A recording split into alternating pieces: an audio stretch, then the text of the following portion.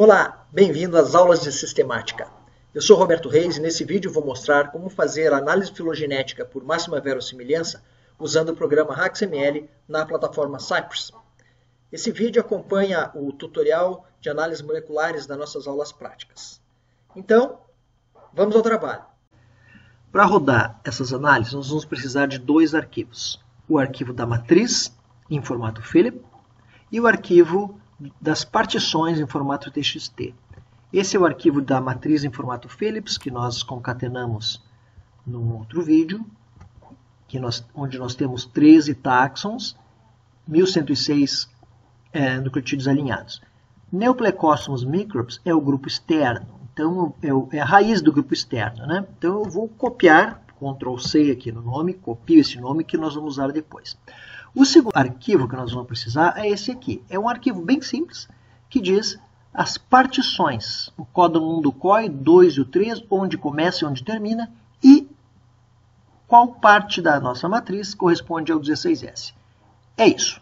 Bom, tendo esses dados, tendo esses dois arquivos, então nós vamos fazer o login na plataforma Cypress, vamos entrar no nosso, no nosso é, diretório, aqui, aqui estamos nós. Né? Precisamos, então, carregar, já está aqui o InFile, e nós temos que enviar para a plataforma Cypress o próximo, o arquivo das partições. Pronto, já enviei, então nós temos agora o partições e o InFile. Para fazer essa análise, então nós vamos para as tarefas e vamos criar uma nova tarefa. Então aqui eu vou chamar de é, é, HaxML por exemplo. Né? Então, vou selecionar os dados, e os dados são meu InFile. Vou selecionar o software, e aqui nós vamos usar o HaxML OnExceed, este aqui. Muito bem. E só falta configurar os parâmetros. Posso clicar aqui ou aqui, tanto faz. Bom, nos parâmetros, isso aqui a gente tem que fazer com cuidado e o nosso tutorial é, tem isso bem detalhadamente. Então, vamos ver. Tá. Indica o número de horas que nós vamos usar. Né? Aqui o padrão é um quarto de hora, mas nós podemos aumentar um pouquinho para meia hora nessa nossa matriz aqui, deve dar mais que suficiente, mas é, para matrizes grandes nós vamos precisar de várias horas, o máximo é 72 horas, a gente pode usar bastante tempo com, com matrizes maiores. Né? É, o nome do output file vamos chamar de, por exemplo, Euris Result.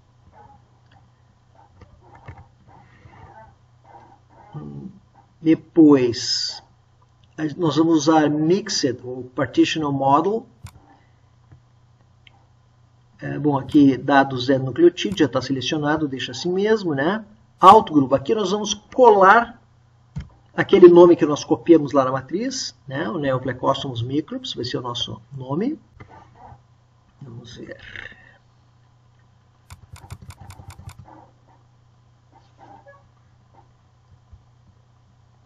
É só isso.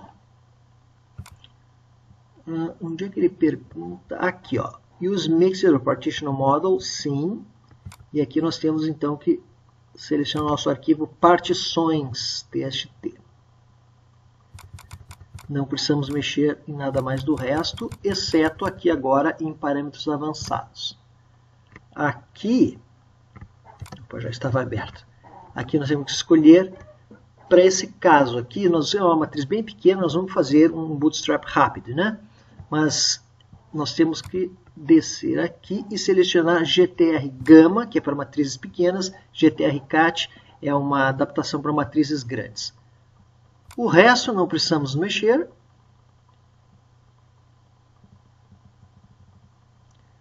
E vamos salvar os parâmetros. Ok. E salvar e run. Ok. Muito bem, agora a nossa análise está rodando. Está né? Tá aqui a segunda, nossa segunda tarefa.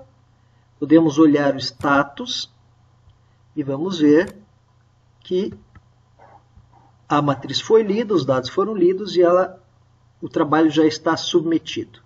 Muito bem, podemos voltar aqui para a nossa lista de tarefas e agora vamos esperar a chegar, chegar o e-mail dizendo que o nosso trabalho está concluído.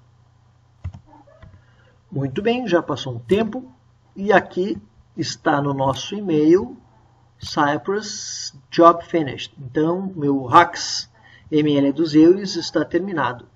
Clico aqui ou vou na plataforma Cypress, Eureka Elixir, Tarefas, e aqui está Hacks ML Eureka Elixir, é, View Output. Bom, aí ele me oferece todos esses arquivos. Os arquivos que são importantes aqui inicialmente, a gente pode dar uma boa olhada, né? dá para view ou download, mas esses aqui, ó, o standard out, esse arquivo, a gente vale a pena descarregar, mas ele tem todas as informações dessa rodada no HacksML. Tudo que aconteceu, todos os dados estão aqui, né? tudo, tudo que foi feito e todas as árvores calculadas para Bootstrap, e o importante é que aqui perto do final já aparece isto aqui, ó, a likelihood da otimização final. E este aqui é o valor de likelihood desta árvore final. Né? Continuando aqui, ó, estão todas as transformações de nucleotídeo para cada partição. Muito bem. Esse é um arquivo importante, o standard out. E o arquivo da melhor árvore é este aqui, ó. HaxML Best Tree Euris Result. Lembra que nós escolhemos o nome Euris Result? Esse é o Best Tree. Então esse sim vale a pena a gente descarregar. Ó, ele baixou aqui, Best Tree Euris Result.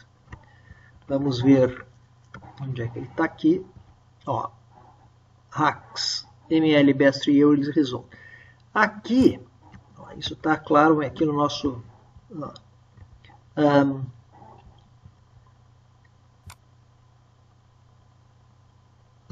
depois da análise, ó, Standard Out tem todos os detalhes e esse Best Result é a melhor árvore. Eu posso descarregar e botar essa extensão New Wikner, N, NWK. E aí abrir algum programa como Mega ou como Figtree para ver a árvore. Né? Então eu posso simplesmente renomeá-lo e botar aqui New Wik Ok? E agora eu posso abrir ele no Figtree, por exemplo. Um, Euris Result. Está pensando? Está aqui. Essa é a minha melhor árvore. Né? Uh, claro, eu posso aumentar o tamanho das letras. Veja, Neoplecóstomos microps, que é a, nossa raiz, né? depois os isonodos, hepactinodos, e aqui está o gênero Eurichelictis, né? as espécies Eurichelictis. Não está bem resolvido, tem umas politomias aqui no meio, mas é o que a nossa, a nossa matriz nos deu. Muito bem, era isso. Espero que vocês tenham gostado, que vocês consigam fazer as suas análises por máxima verossimilhança na plataforma Cypress. Bom trabalho e até o próximo vídeo.